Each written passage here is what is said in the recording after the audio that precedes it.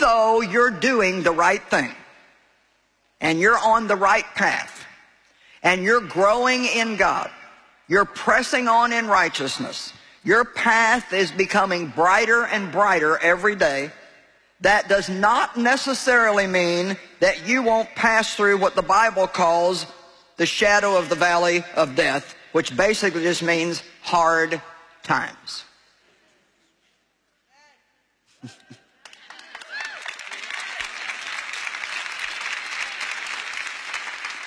So we got rid of, got to get rid of any kind of thinking, well, you know, I'm doing all this stuff and I'm trying to do what's right and the right thing's not happening to me and I'm just tired of this so I'm just going to quit and give up.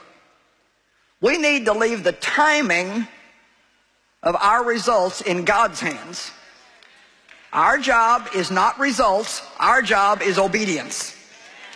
We do what we do not even to just get a result, but because that's what we believe God wants us to do. And we know that if we do what is right, we will have peace. And listen to me, there is, there is no way that we can ever fail and not be delivered if we're doing what's right.